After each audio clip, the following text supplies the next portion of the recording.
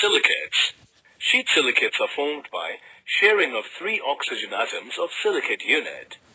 The sharing gives an infinite two-dimensional sheets and contain Si2O5 negatively charged anions. Sheet silicate's basic structural unit is shown here.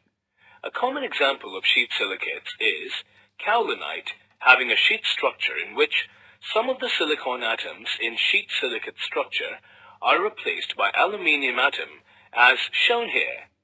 Another example of sheet silicates is talc, having a sheet structure in which some of the silicon atoms in sheet silicate structure are sandwiching magnesium ions as shown here. Clay also belongs to this type of family containing Si2O5 bi-negative anion as shown here.